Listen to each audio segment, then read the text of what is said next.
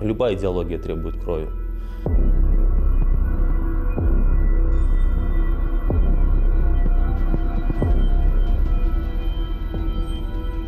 Терпеть боль, но это обычное для меня дело. Когда они узнавали меня, кто я, то конкретно прям нечеловеческая злоба на них находила. Это ты, это ты, тот самый художник.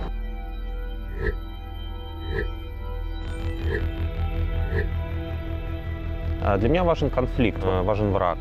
В Беларусь я вернусь. Не знаю, когда, но вернусь.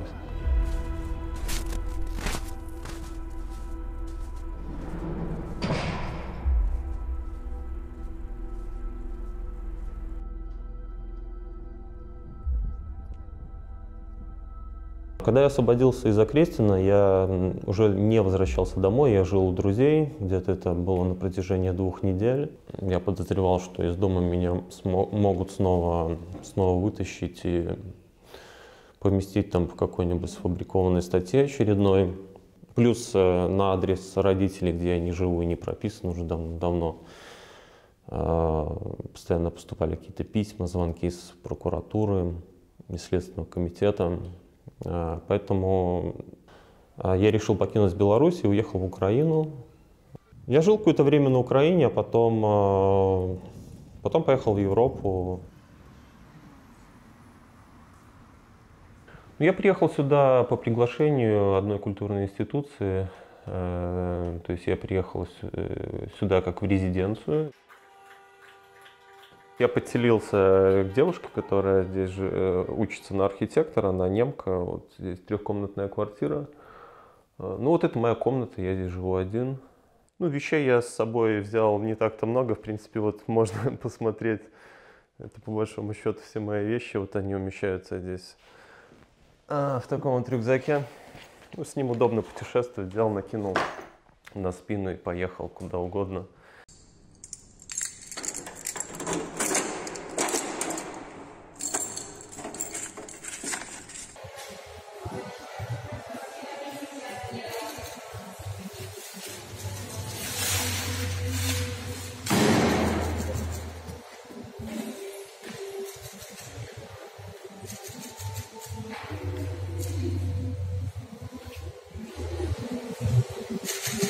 Не запрещаю. Я провел акцию в двух частях. Первую на избирательном участке, а вторую уже в ночь, э, когда начались э, демонстрации, э, протесты.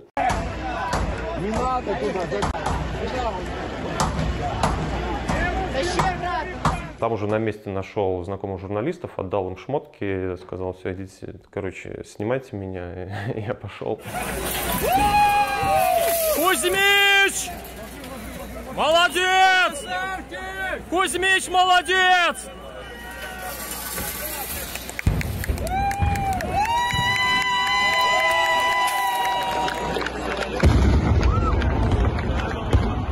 Меня начали стрелять, кидать, э, кидать гранаты, ну и все начали как-то разбегаться, какой-то хаос начал происходить, я потерял людей, которым оставил вещи, и в принципе в таком же прикиде, как на акции, то есть голым, м, мне пришлось оттуда уходить. Да ладно! А! Сука, блядь!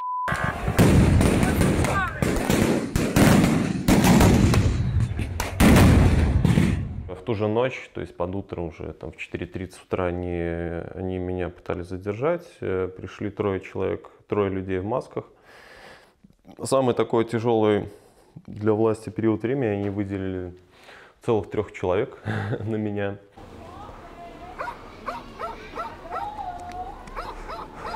Пытались своими силами выломать дверь, ковыряли с отвертками, что-то били, там ломали. К обеду у них получилось сломать одну дверь. Но дальше они составили на меня протокол и кинули меня в обезьянник, там в РОВД. Э, Такое небольшое помещение, где-то, не знаю, там метров 15 было, туда человек 30 набилось.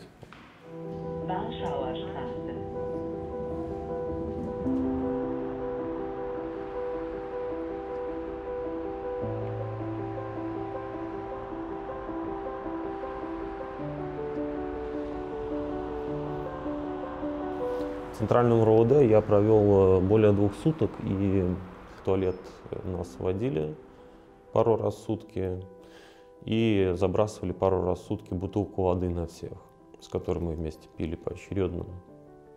А, насчет еды, то есть там не было никакой еды, нас не кормили.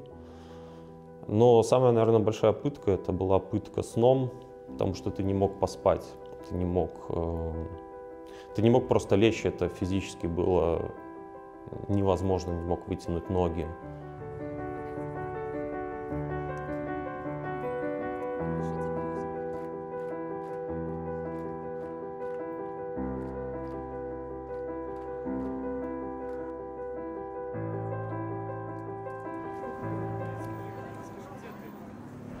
Людям становилось плохо в камере, мы не могли достучаться до, до охранников, чтобы, чтобы они оказали какую-то помощь. То есть, в принципе, всем было, всем было насрать совершенно на, на то, что там происходит в камере, а на, на мучение этих людей, которые там находились с травмами.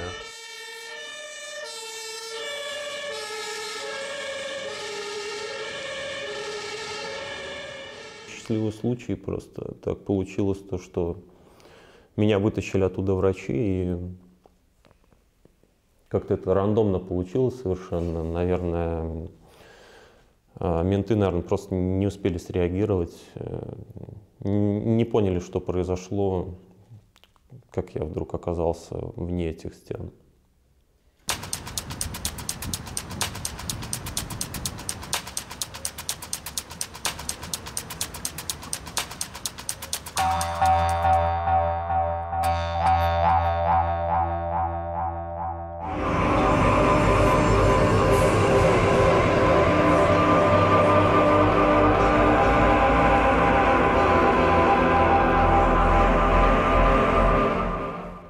Естественно, я прокалывал грудь себе без всякой анестезии, да, то есть я создал, э, создал такой обряд, который предложил уже впоследствии, написал письмо в этот Союз молодежи и предложил им использовать этот обряд, где, э, где этот значок, э, он крепится не на одежду, а крепится на тело, то есть если вы собираетесь идти в это то делайте это уже по-настоящему, что называется. И, собственно, поэтому кровь, поэтому, поэтому зига.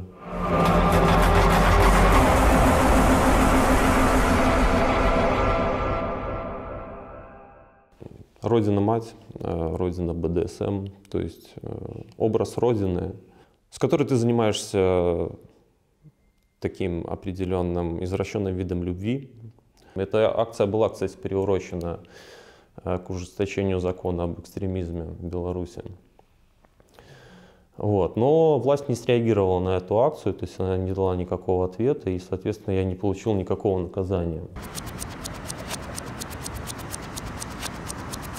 Когда приезжаешь в Берлин, первое, что бросается в глаза, это нестерильность, грязь, обшарпанность. Но в целом мне кажется, что это какое-то проявление свободы.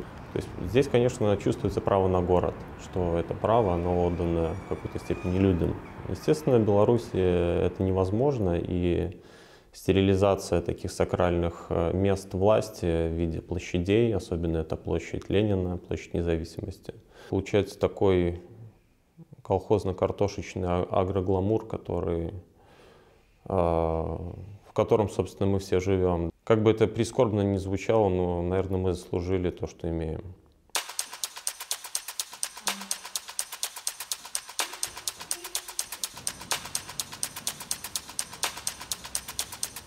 А, в Берлине сейчас вот встретил Сергея Шабохина, белорусского художника, и он делает research такой э, в своем проекте, вот пригласил меня. Мы с ним побеседовали, он разместил здесь кое-какие цитаты. Ну вот одна из них, например, «А, вне зависимости от гендера. Хоть белорусскому протесту и пытаются навязать женское лицо, но мне кажется, что называть его сугубо женским неверно. Женщина дополняет мужчин, мужчина дополняет женщин. То есть одно без другого не существует, и, по-моему, это прекрасно. Если политик сильный, мощный, то он э, все равно имеет большой хуй И э, то, что он женщина или мужчина, не имеет совершенно никакой разницы. Акция «Щит» или Министерство фалокультуры – это была э, первая работа, после которой я приобрел известность. Буквально за один день э, я превратился из художника, которого знали только узкие специалисты, либо там мои друзья-знакомые, э, художника, о котором узнали люди вообще совершенно далекие от искусства. Наличные? Да. 5 часов 30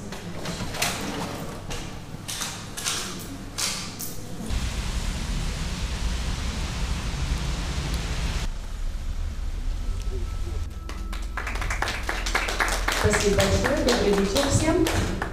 Ну, мы сегодня в такой камерной обстановке открываем проект, достаточно крупный, который объединяет в себе творчество пяти разных художников.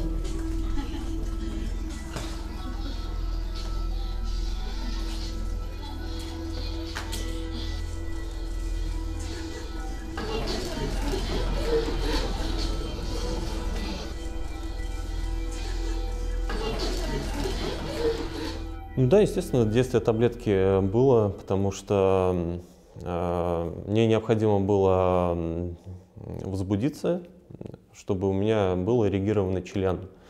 А, Но на этой выставке у меня, естественно, бы, э, я имею в виду в центре, Национальном центре современных искусств, у меня похуй стал, потому что ну, как бы на белорусское искусство у меня не стоит, и тем более на то вот государственное искусство, которое Министерство культуры пропагандирует, ну, у меня не стоит, уж простите. Поэтому я прибег э, к помощи препаратов и плюс еще кинул э, планшет на, на пол, там, где э, порнуха играла.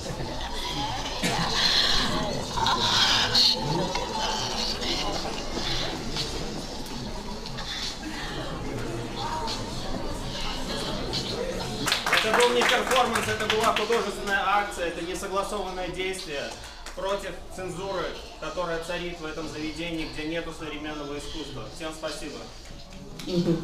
Вот, естественно, Министерству культуры крайне не понравилось, э, что я наделал их э, на хуй. Э, И они попытались завести на меня уголовное дело. Милиция проводила проверку по факту м, хулиганства по уголовной статье и пытались найти эрегированный фалос, на который была надета эта табличка. Э, Изучали фото, видео, материалы, но в итоге э, ничего не нашли, потому что я там все хорошо прикрыл, как-то подсознательно понимая, что может это все плохо закончится. Была не очень приятная ситуация, что окружающие люди, они пытались постоянно меня остановить. Кто-то советовал э, покаяться, кто-то советовал э, тормознуться. Ну, моя семья меня не поддерживает, то есть э, ни мама, ни бабушка, они, они негативно относятся вообще к тому, что я делаю, и э, даже не считают это искусством.